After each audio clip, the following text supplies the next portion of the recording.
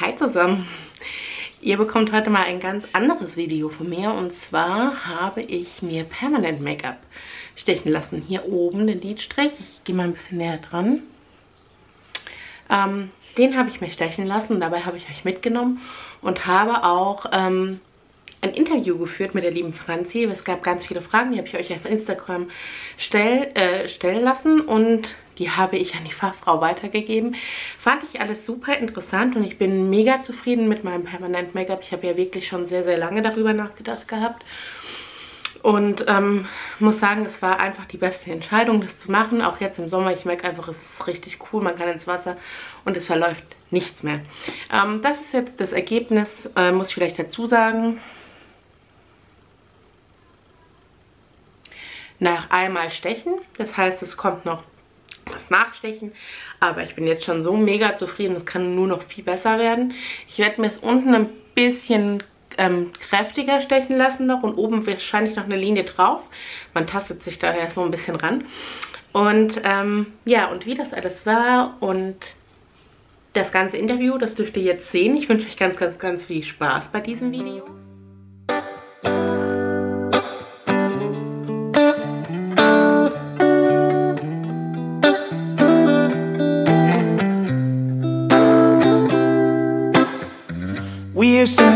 To hang around town pretty late. I spent the week thinking about our next date. It was easier then, so much easier then. Or like that time I picked you up outside of school. You said, screw my dad, I make my own rules. It was easier then, so much easier then. Take me back to the, take me back to those easy summer days when we stopped at nothing, baby. Yeah, we stopped at nothing, baby. They couldn't take us, they couldn't change us, they couldn't catch us if they tried. Now we didn't care at all about winter or spring or fall. We felt so alive and girl, we were thriving on kisses and sunshine and mischief. Yeah, we had one of those things. Uh, we just had one of those. Ja, das ist echt so blöd, gell? Hab auch schon gedacht, also ja. Total, aber das wird immer in Erinnerung bleiben. wenn Immer. Immer. So, wir sind jetzt gerade im Behandlungszimmer von der lieben Franzi und schaut euch mal die Wand schon alleine an, ja? Ähm, ihr habt ja schon Fragen gestellt gehabt und ich würde sie jetzt einfach mal der Franzi stellen als Fachfrau. Und Hallo, auch einmal von mir. Genau. Sie ist die Besitzerin hier. Ich tue euch alles in die Infobox unten setzen. Die hat auch einen ganz tollen Online-Shop für ganz tolle Kosmetik. für Lippenstifte, die auch unter diesen Masken halten. Ja, definitiv. Ja. Und, ähm, aber jetzt geht es erstmal ums Permanent Make-up und da kamen ein paar Fragen jetzt schon rein. Ich hatte mir auch ein paar überlegt gehabt, die für mich, glaube ich, auch ganz interessant waren. Und eine der meistgestelltesten Fragen war die Haltbarkeit. Die Haltbarkeit. Ja, die ist natürlich immer je nach äh, Stoffwechsel auch einfach unterschiedlich. Das heißt, man spricht von einer Haltbarkeit zwischen drei bis fünf Jahren, wobei erfahrungsgemäß in der langen Zeit, in der ich das jetzt schon auch mache, ähm, es einfach so ist, dass ein Eyeliner wirklich gut sieben bis eher zehn Jahre, würde ich sagen, halt, wenn er dann auch wirklich schön von der Haut angenommen worden ist. Ne? Das heißt, jeder Mensch hat ja seinen eigenen Stoffwechsel ähm, und dadurch wird diese, also das Pigment ist so rein, dass es in dem Stoffwechselkreislauf der Haut aufgenommen wird und damit aber auch eben abtransportiert wird im Laufe der Jahre. Das heißt, es wird einfach mit der Zeit ein bisschen blasser. Okay. Das heißt, es wird jetzt nicht, man steht nicht morgens auf und es ist weg, sondern ähm, es geht einfach etwas, es wird einfach immer blasser. Man kann sich dann entscheiden, lässt man es auffrischen vielleicht dann auch mal wieder, weil man es wieder ein bisschen stärker möchte oder lässt man es weiter ablassen. Genau, das ist auch die Frage dann, ist das dann so eine Art Auffrischen, dass man es nur einmal macht? Genau, also in der Regel, wenn der jetzt nicht zu stark ausgeblasst ist oder man jetzt nicht sagt, man möchte von einem ganz dezenten Eyeliner in ein Amy Winehouse Cat Eye Eyeliner wechseln, dann kann man das mit einer Sitzung gut machen. Ähm, dann reicht die auch meistens aus, wenn man jetzt natürlich wirklich gravierend was an der Form ändern möchte, also das heißt, dass Ja. man wirklich wesentlich breiter geht, dann muss man sich ja vorstellen, ist an der Stelle ja auch das erste Mal pigmentiert und dadurch müsste man eventuell da dann nochmal drauf, aber es kann auch sein, dass es dann mit einmal gut hält. Okay. Ja. Äh, zweite Frage war auch für mich übrigens eine ganz wichtige Frage. Wird das betäubt? Ja, genau. Also es kommt eine leichte Betäubungscreme natürlich drauf.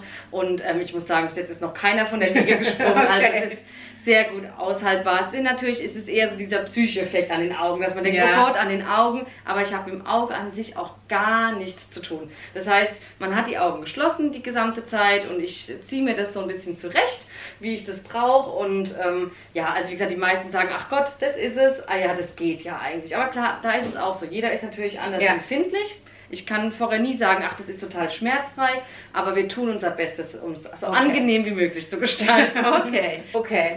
Das heißt, ähm, du berätst dann auch von der Form, wenn jemand sich noch unsicher ist, Genau, dann ja. schlägst du was vor, zeichnest Genau. an und diejenigen können Also dann entscheiden. meistens frage ich schon, ja, wie tragt ihr ihn denn immer sonst? Ja. Ne, man, es gibt ja so, so ähm, Kunden, die einfach wirklich schon morgens aufstehen. Die, das Erste, was sie machen, ist, sie, sie, sie malen Ja. sich einen Eyeliner. Ne? Und wenn die das schon so gewohnt sind, dann sind das auch meistens die Kunden, die eher einen breiteren Eyeliner Ja. wünschen. Und es gibt so welche, die sagen, ah, ich weiß nicht ganz dezent. Das muss ich kurz vorher wissen. Dann sage ich immer, ich zeichne einfach mal. Und sie sagen mir dann, ist es zu dünn, zu dick, zu breit, zu lang. Und so passt man es dann wieder an. Und ja, genau. Das Okay. geht aber meistens beim Eyeliner recht schnell, weil da hat man natürlich jetzt nicht wie bei einer Augenbraue mit verschiedenen Winkeln, kantig, breit und Ja. so weiter. Beim Eyeliner ist es ja schon so, dass man die Augenform einfach ein bisschen positiv ja, auffrischen möchte quasi. Okay, und ähm, wenn ich das jetzt machen lasse, auf was muss ich da achten danach? Also bin ich in irgendwas eingeschränkt oder? Genau, also man sollte circa zwei Wochen lang keine Wimperntusche auftragen. Ja. ja, also bei Blondhaarigen, die auch so ganz helle Wimpern haben, kleiner Tipp, lasst euch einfach eine Woche vorher die Wimpern färben. Ja, das ne? das ist ein ganz guter Trick dabei. Und bei den dunkelhaarigen oder braunen Wimpern ist es auch so, dass dadurch, dass der Eyeliner dann da ist, Ja. fehlt es einem gar nicht so an Kontur. Also da sollte man wirklich so zwei Wochen lang wirklich äh, die Mascara verzichten. Es geht auch nicht darum, dass die Mascara dem Eyeliner irgendwas im Nachhinein tut, sondern man müsste die Mascara runter Ja. reinigen und dann müsste man rubbeln. Und es entsteht, ich muss so ein bisschen ausholen, warum, es entsteht so eine kleine Pigmentierkruste, nennt man Mhm. das. Und es ist wie so eine kleine Schürfwunde, kann man sich vielleicht vorstellen. Oder jeder, der tätowiert ist, ne, vom Ja. Tattoo kennt man das ja auch. Und die bringt mir aber die Haltbarkeit der Farbe in der Haut. Das heißt, die schützt erstmal die Haut. Das ist wie so eine kleine Schutzschicht. Ja. Und die sollte man nicht runterrubbeln und deswegen auch kein Mascara. Okay. Genau, ja. Und ähm, sonst noch irgendwelche Einschränkungen? Ja, also Einschränkungen würde ich es jetzt gar nicht so Ja. nennen. Es ist einfach so, dass, ähm, dass man so den ersten Tag würde ich jetzt vielleicht auch nicht unbedingt Sport machen. Äh, man merkt von den, man merkt von den, ja. Das andere Thema ist noch, dass man halt einfach zwei Wochen lang nicht in die Sauna, nicht ins Schwimmbad gehen sollte. Sauna, ganz klar, Wärme, Bakterien und so weiter und so fort. Ähm, die Augen können als einziges ein bisschen geschwollen sein. Also die Augen sind eigentlich total nett, was das Abheilen betrifft. Das heißt, man muss sie jetzt nicht unbedingt eincremen mit einer speziellen Creme Mhm. wie bei den Augenbrauen oder Lippen, sondern also es gibt eine spezielle Lösung danach von mir mit. Die ähm, erkläre ich dann auch immer noch mal jedem Einzelnen ganz genau, wie es zu verwenden ist. Das würde, glaube ich, jetzt den Rahmen sprengen. Aber da gibt es einfach nur was zum Drauftupfen, zum Desinfizieren. Und ansonsten machen die Augen das von alleine, weil die einfach ein ganz gutes Abwehrsystem haben und da ähm, wirklich gut mitarbeiten. Und das Einzige, was sein kann, ist, dass man noch eingeschränkt ist durch eine leichte Schwellung, die Okay, ja. eben am nächsten Morgen am allerschlimmsten ist, aber gegen Mittag schon wieder abflacht quasi und dann sieht man auch nichts. Und für einen selbst ist es oft viel schlimmer und die Leute oder bekannte Freunde draußen merken es gar nicht. Ja. Man läuft dann so rum und denkt, oh Gott, ja, gell, sorry, ich sehe ein bisschen schlimmer aus, meine Augen und hä, was, ist doch alles okay, ne? Das ist so das Einzigste, was sein kann. Wie gesagt, keine Mascara und halt versuchen dann nicht in den Augen ständig zu reiben und zu rubbeln, aber das macht man eigentlich automatisch. Aber ansonsten ist man nicht eingeschränkt. Ja, aber gut, ist ja in Corona-Zeiten super. Man kann eh nicht in die Sauna und ins Schwimmbad. Genau, in aktuell. Corona-Zeit Also- ist es perfekt. Und das Gute ist auch noch die Heuschnupfenzeit aktuell. Genau. Also allergiemäßig äh, hat man da jetzt immer eine Ausrede aktuell. Und es kann auch sein, bei manchen ist wirklich danach gar nichts. Also die gehen hier raus und auch einen Tag später, die sind nicht einmal geschwollen, nichts. Und manch andere, so wie ich persönlich auch, ich sehe danach am nächsten Tag wirklich immer richtig verquollen aus am nächsten Morgen, wo ich denke, huiuiui, aber eine Stunde später ist es schon wieder gut. Ja, also ich habe jetzt noch ähm, was gehabt, was mich auch ganz interessant fand, war, ähm, es darf sich ja ähm, so ziemlich jeder nach zwei Tagen irgendwie Ja. permanent Make-up machen oder, ähm, Ja. sag ich mal, an ein lebendes Objekt dran Ja. trauen. Ja. Ähm, da ist es vielleicht auch ganz arg wichtig, weil ich habe ja vorhin gesagt habe, dass ich mich schon darüber informiert habe, Ja. wohin ich gehe, weil es halt auch im Gesicht ist. Ich glaube, das ist schon wichtig, dass man da auch drauf achtet, dass es vielleicht jemand macht, Ja. der das auch. Also ich sage immer, guckt einfach oder fragt doch auch ganz Ja. ehrlich nach, wie ist denn die Ausbildung gewesen, wie intensiv war Ja. die denn? Und dann ist es halt auch so, also ähm, um da einfach auch mal ganz ehrlich drüber zu sprechen. Ähm, es bringt mir auch nichts, wenn das schon jemand 20 Jahre macht, aber der sich in diesen 20 Jahren nicht einmal weitergebildet Ja. hat, ja. Das ist nämlich so das Nächste. Also ähm, ich zum Beispiel, jetzt in meinem Fall äh, mache das so, dass ich wirklich jedes Jahr mich weiterbilde. Ob das mal Thema Augenbrauen sind, ob das Lippen sind, die Augen. Mhm. Es gibt so viele neue Techniken und manchmal gibt es auch gar nichts so ersichtlich Neues. Und, aber es ist ein Handgriff, den Ja. man sich irgendwie abguckt oder denkt, ach ja stimmt, Mensch, ne? Ja. Also es gibt immer was, was man da dazu lernen kann. Und zum einen, äh, ich weiß jetzt gar nicht, ob das dann hier aber Schleichwerbung wäre, aber es ist, ähm, Golden Eye ist einfach das, wo ich sage, die lernen einem das so, so gut. Also da ist man so aufgehoben. Alleine die Grundausbildung bei denen geht sechs Wochen. Okay, Und bei ja. ganz vielen ist es eben so, da geht es wirklich nur zwei, drei Tage. Ja. Die haben ihr Zertifikat und dürfen loslegen. Bei Golden Eye muss man erstmal durch die Theorie-Levels durch, um dann erstmal beim C-Level in Haut zu piekseln quasi. Ja. Ne? Und das mit der Trainerin zusammen und nicht irgendwie, ne?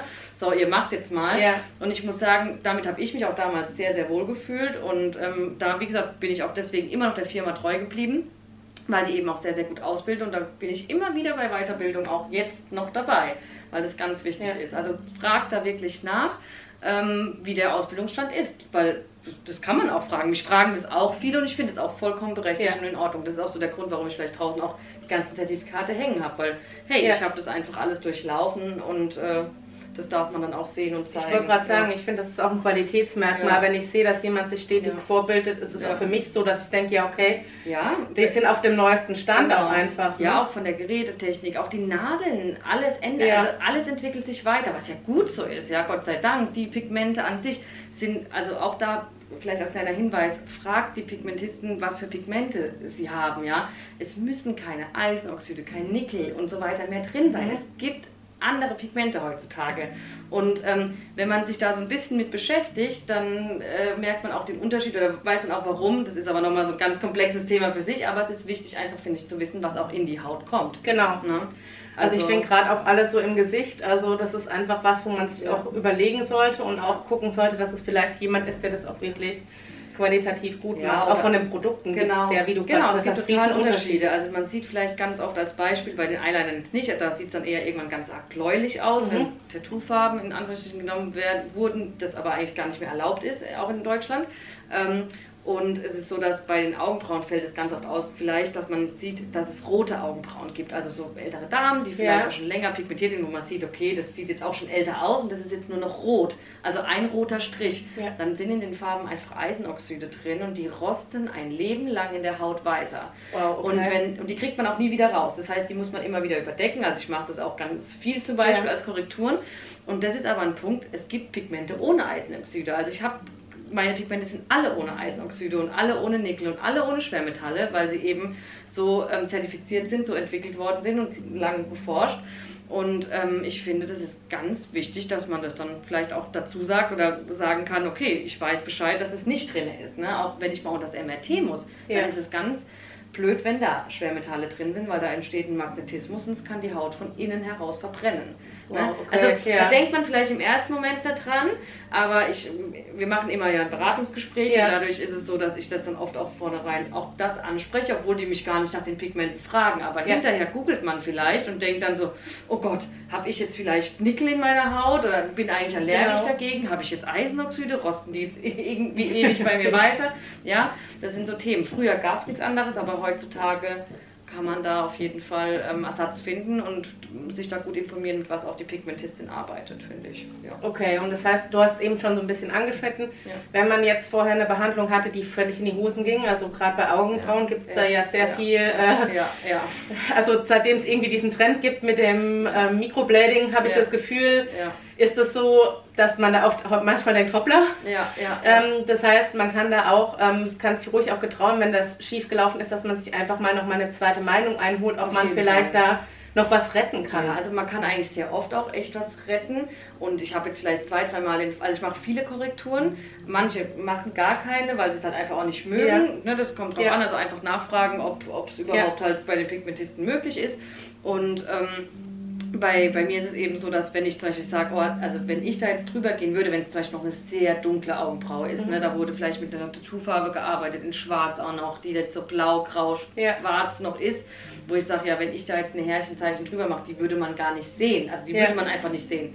Dann lass doch erstmal ein, zwei Sitzungen lasern, dann empfehle ich da auch ein Laserinstitut, die das ähm, entfernen und dann kann man da auch wieder neu starten. Also es gibt auf jeden Fall Möglichkeiten. Ja, Okay. ja da kann man Ich glaube, einiges das tun. ähm, waren alle War's Fragen schon mal. Perfekt. Aber Ja. ich bin jetzt ganz gespannt. Also wir haben hier ganz süße Mitarbeiterinnen, die werden auch immer mal wieder filmen. Ja. Das heißt, ihr seht Genau. es auch und ich gebe Ja. euch danach eine ehrliche Meinung, ob es denn wehgetan hat oder nicht. Ja.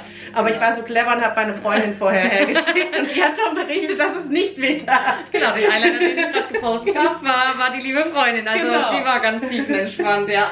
Und die ist normalerweise sehr pinzig, hat sie gesagt, hat, wenn sie es schafft, schaffe ich es auch. Also gut. Dann äh, starten wir mal. Ich zeichne auch direkt mit der Pigmentierfarbe vor, damit ich keine Fremdpigmente in der Haut habe. Finde ich auch immer ganz, ganz wichtig. Weil ich einfach nicht will, dass irgendwas in die Haut Ja. kommt, was nicht in die Haut kommen darf. Das soll. Genau. Den Strich, den ich jetzt zeichne, den kannst du dir später auch vorstellen, der wird nochmal ein bisschen feiner, weil ich einfach mit der Nadel einfach viel feiner zeichnen kann. äh, also halt, ne, Ja. kann. Und ähm, innen drin den Wimpernkranz musst du dir vorstellen, der wird natürlich auch ja mitpigmentiert. Den kann ich nur immer ganz schlecht anzeichnen.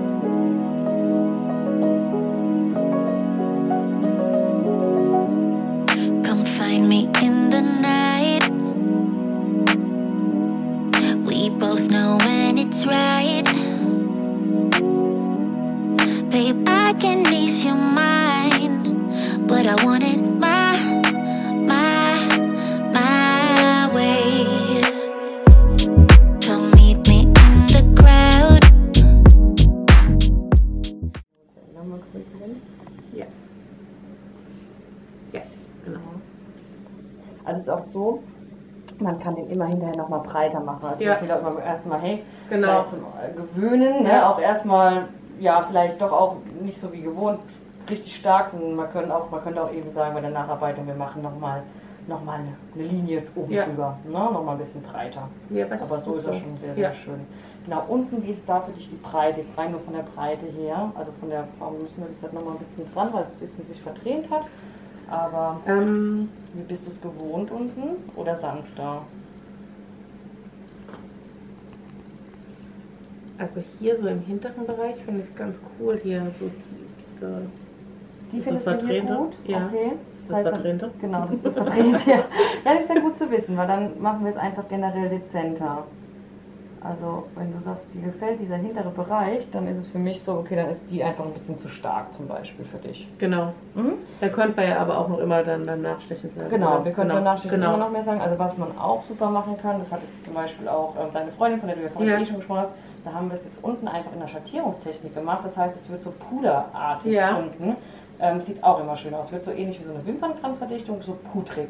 Das könnte ich mir dann auch gut vorstellen, wenn du Ja, sagst, das stimmt. Verwischte. Das ne? fand ich auch schön bei ihr, das Ja. sah echt schön aus. Genau, also es ist ähm, dann. Das ist nicht so hart, sondern weicher. Genau, und da könnte man hinterher immer noch sagen, man möchte wieder mehr. Ne? Ja. Aber dann lass uns das doch in der Genau, Technik vielleicht das ist doch ganz machen. gut. Dann mache ich mir hier so ein Ja. bisschen noch mal unten weg, dass ich da nicht zu weit runter gehe und dann mache ich hier einfach auch am Wimpernkranz Ja. diese Schattierungstechnik.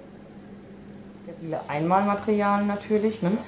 die ich eben verwende. Das ist auch immer wichtig, dass ihr da bisschen auf die Hygiene des Instituts auch achtet. Ist alles eingepackt, ne? alles was der Behandler berührt, macht, tut. Ähm, ja, das macht auch ein bisschen die Qualität eines permanenten Pickups natürlich aus. Wunderbar, wir legen los. Du lässt einfach die Augen ganz entspannt zu. Wenn irgendwas ist, brüll. Nein, Spaß. Also ja. gerne Info. ähm, ich fange jetzt an mit der Outline. Ich fange an dem Auge an. Spannen wir das jetzt. Und jetzt nicht erschrecken. Es geht los. Alles okay? Alles super.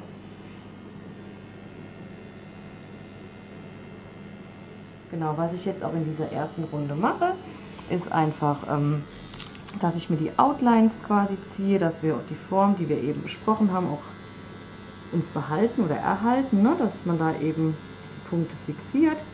Darum geht es jetzt erstmal in der ersten Runde. Wische ich einmal das Tränchen weg. ist alles okay für dich? Alles Ja. aushaltbar? Das Einzige, was ist, dass die Nase kitzelt. Ja, das stimmt. Wie beim Augenbrauenzupfen. Genau, ja. Wunderbar. Es geht weiter, nicht erschrecken, ich spanne wieder. Ganz tapfer, super. Genau, da drehen es jetzt so ein bisschen. Wie gesagt, einfach ignorieren, die sind heute mit dabei. Na, jetzt hat man Die hier, genau, jetzt hat man hier eben schon die schöne Outline. Und daran kann ich mich jetzt gut orientieren, dass wir da in unserer Form bleiben. Unten mache ich ja jetzt noch die Schattierungstechnik. Die mache ich auch einfach direkt. Dann kommt ein bisschen beruhigendes Gel drauf und ich pigmentiere dann die andere Seite.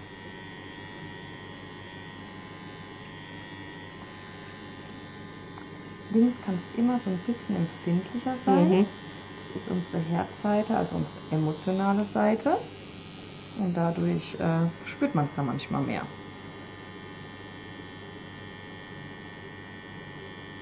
Genau, und auch hier ziehe ich jetzt einfach wieder die Outline um unsere Form, eben uns, unsere ausgesuchte Form zu erhalten.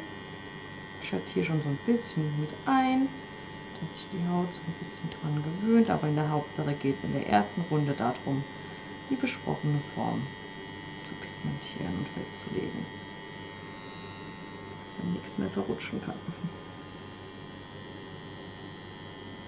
Bea macht es aber trotzdem sehr, sehr ruhig. Also sie ist, glaube ich, wirklich auch nicht schmerzempfindlich groß. Also sie liegt auch ganz, zumindest für mich spürbar ruhig da. Manche merkt man schon, dass sie sich so ein bisschen verkrampfen, aber den Eindruck macht sie mir jetzt nicht. Nee. Und von daher passt es auch. Wie gesagt, Tränen können immer dabei sein. Das ist ganz normal. Das ist einfach ein Schutzmechanismus vom Auge, ne? Das äh, ja halt einfach sagt, hey, da ist doch was. Ich muss mal so ein bisschen dagegen arbeiten. Ähm, was jetzt nicht irgendwie schlimm ist, aber das ist auch mit ein Grund, warum es natürlich auch anschwillt, ne? Weil man kennt das ja auch, wenn man mal weinen muss, dann sind die Augen halt manchmal auch einfach ein bisschen geschwollen.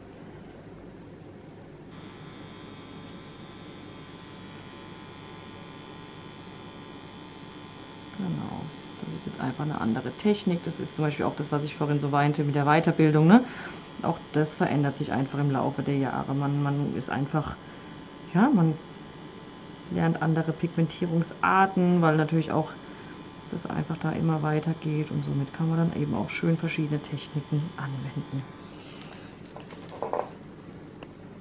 Quasi wie so pudrig, so kennt man es auch von den Augenbrauen, wo sich manche eben so Puderschattierungen machen lassen. Kann man auch eben super, super schön als Eyeliner machen.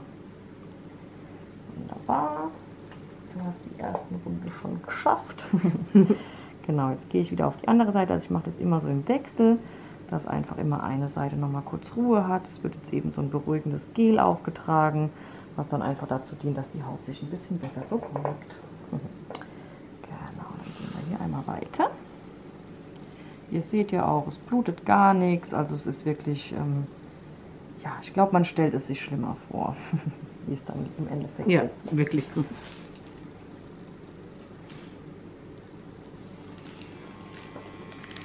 Genau, jetzt gehe ich nochmal die Outlines nach und dann wird schon einschattiert. Hier hat es ein bisschen besser gehalten auf der Seite, aber hier ist auch eine leichte Schwellung zu sehen vom Auge. Auch das ist ein ganz normaler eben Abwehrmechanismus von der Haut. Ähm, ist ja gut, dass wir sowas haben am Auge. Es ist ja auch sehr hilfreich. Und es ist auch jetzt fürs Auge, wie gesagt, nicht schlimm, sondern es ist halt einfach dann mal einen Tag ein bisschen dick.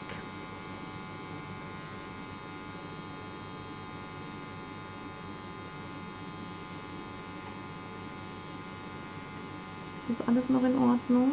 Alles super. your